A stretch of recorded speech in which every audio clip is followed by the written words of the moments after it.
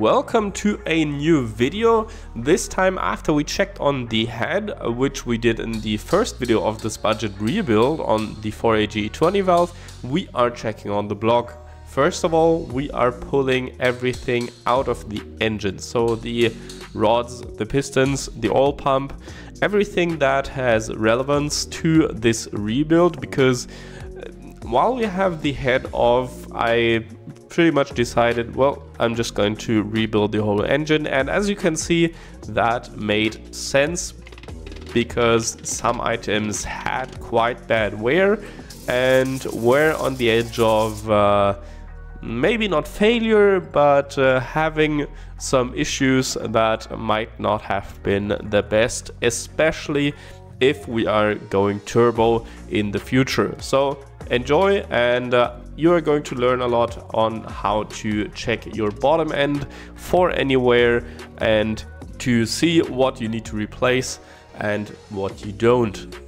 You can already see in this uh, frame that we have a lot of oil in this engine or rather on the bottom of the engine. Uh, that's because the front main seal was leaking quite badly and also the uh, oil pan was leaking very bad. So uh, makes sense to put some new gaskets in there or put a new seal in there also so that we do not leak oil everywhere and especially not on the exhaust. As you can see also the complete underside of the car is covered in oil so I guess it won't rust, right? After we're getting the exhaust off, we're just going to drain the oil and then remove the oil pan, which isn't really that exciting of a task, so I'm just going to fast forward this and after that we remove the oil pickup along with the splash guard for the crankshaft and that's where it gets interesting. Taking that splash guard off was quite a challenge and then you have full access to everything in the rotating assembly such as crankshaft, connecting rods and pistons. And then I'm just going to pull each rod out after the other. Next, I'm removing the oil pump, or rather I already removed it and I'm trying to open it. I have had some problems with that. You can see I actually broke a bit and rounded off two bolts.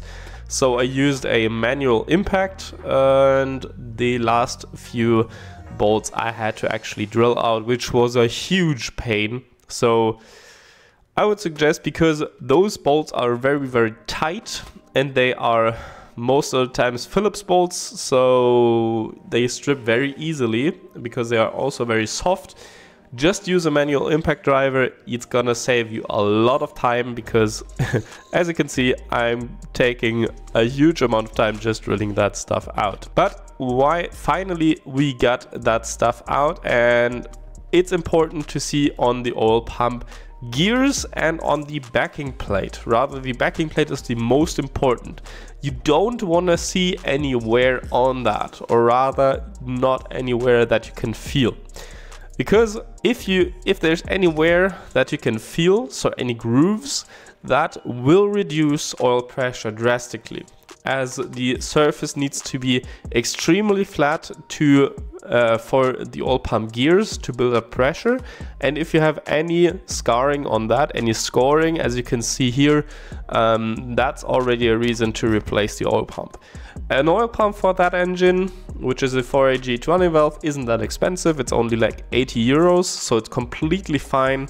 And you, you don't really need a massive uh, budget to replace it. But in this case because I can feel that rich that you can see here I am going to replace the oil pump I'm also going to show you how to prime the oil pump before you put it in the engine again because that's also an important step uh, so that you don't have uh, oil starvation issues at the beginning.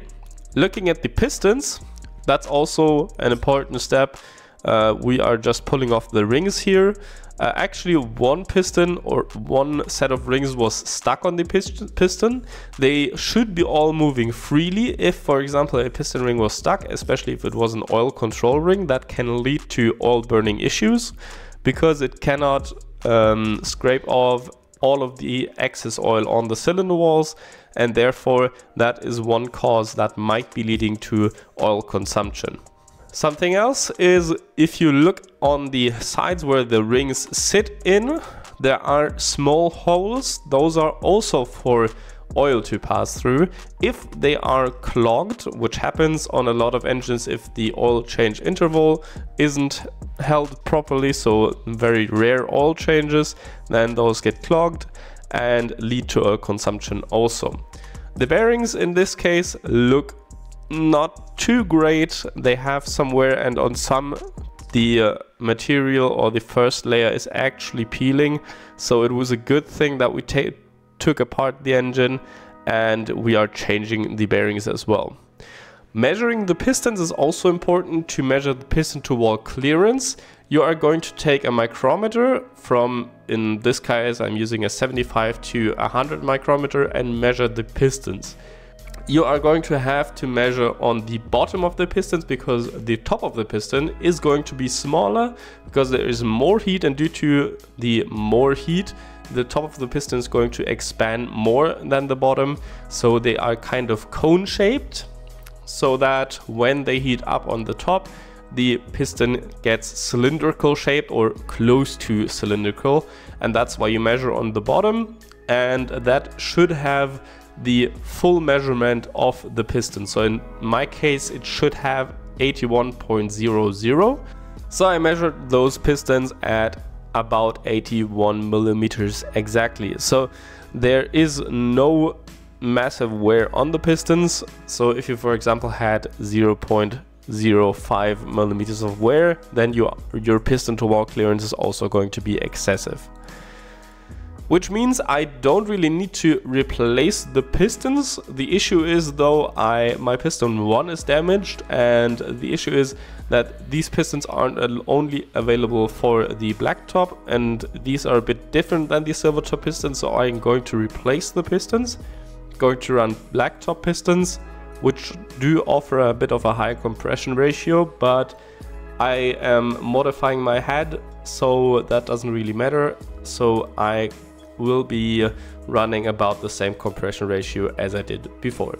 The piston to wall clearance is supposed to be about 0.04 to 0.06 millimeters on stock pistons yes, Toyota recommends or does seem to give okay, give like a uh, spec to even larger piston to wall clearance, but I don't like to run that large of a piston to wall clearance because it can lead to accelerated wear on the pistons.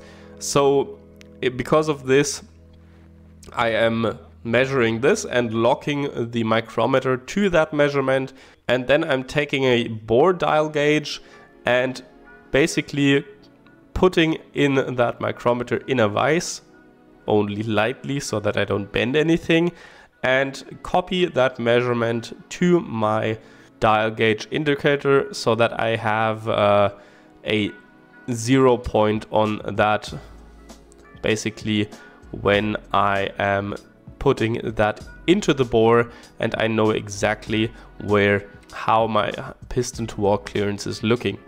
So I'm setting that in between that and setting the basically the smallest point to zero on the dial. After that, going into the bore and measuring that. And depending how far or where I am from that zero, I can see exactly what the piston to wall clearance is. In that case, it is looking to be around 0.05 millimeters so that is completely within spec. That's it for the block analysis. I hope you've learned something. I wish you a nice day and goodbye